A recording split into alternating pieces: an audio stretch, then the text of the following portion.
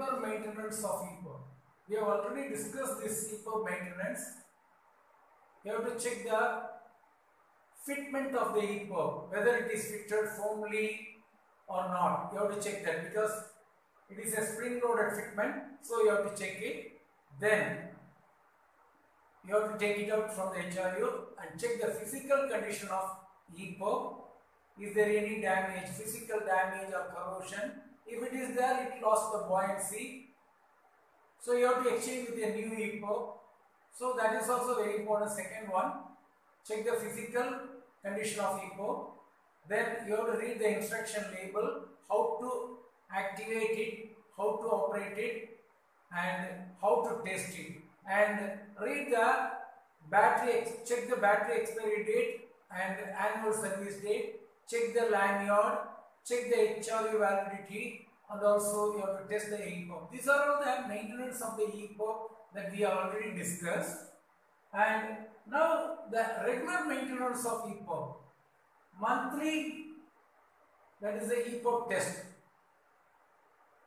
Push and hold switch in the test position for 15 seconds and you can see a continuous blip followed by a single strobe flash that is the testing of the EPIRB. After that you have to make a log entry. It is a monthly maintenance and yearly you have to give it to the shore based maintenance. It is the annual test conducted by the shore based maintenance.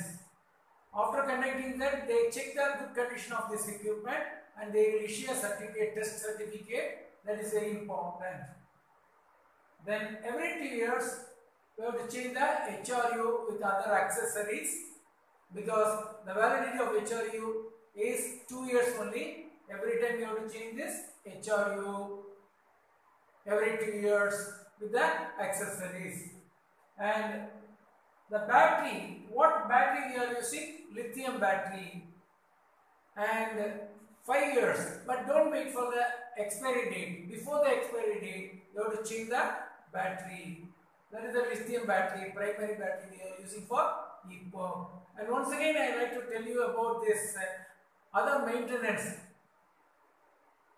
That is, check the fitment of the EPIRB, whether it is fitted firmly in the HRU. Next one, check the physical condition of EPIRB. Is there any corrosion or damage, physical damage? If it is there, it lost the buoyancy. So you have to exchange the new EPIRB. Then there are some labels are there in that equipment, EPIRB. So there is an instruction label. You have to read the instruction label. In the instruction label, it is clearly given how to use it, how to test it. And there are another one label, you can see that in that label, it is clearly given the battery expiry date. So before the expiry date, you can change it. And annual service date also marked in that. So every year at the time of annual service date, you have to give it to the shore based maintenance. That is the authorized workshop and HR. And also testing is also. There is a lanyard. So you have to check the lanyard is available or not. 10 meters length. So to secure the EPIRB, lanyard is fitted with the EPIRB. So these are the things you have to, it is important in the maintenance of EPIRB.